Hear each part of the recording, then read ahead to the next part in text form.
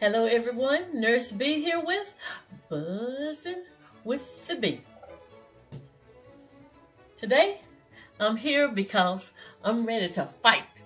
Ready to fight the flu. And I want you to get ready to fight the flu too. There are three things that you can do to fight the flu.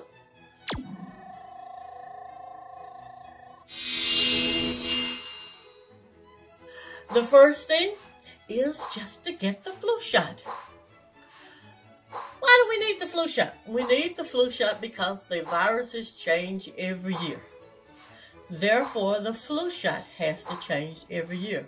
So this year, I want to see you get the flu shot. And I want you to get all your family members to get the flu shot too. Because if the flu comes in your house, everyone in your house will most likely get the flu. So let's protect yourself and your family by getting the flu shots just like me.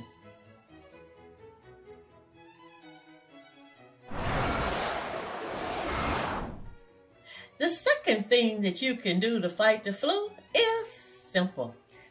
Mask up. Fanny up. And cover your mouth when you sneeze or cough and dispose of the tissue in the trash can.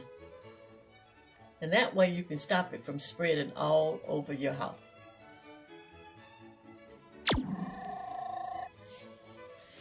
The third thing you can do if you get the flu is go to your doctor. Go to your doctor as soon as you can and get an antiviral drug like the Tamiflu. The Tamiflu will help to shorten the duration of the flu and decrease the severity of the flu. But you must take the drug within 48 hours of getting the flu. I want you to join me, Nurse Bee, in giving the flu a one-two punch and kicking it right out your house. Kick it to the curb. Thank you for joining with me, Nurse Bee, on another episode of Buzzing with the Bee. Be sure to like, share, and subscribe on my blog page, nurse-b.com. Thank you.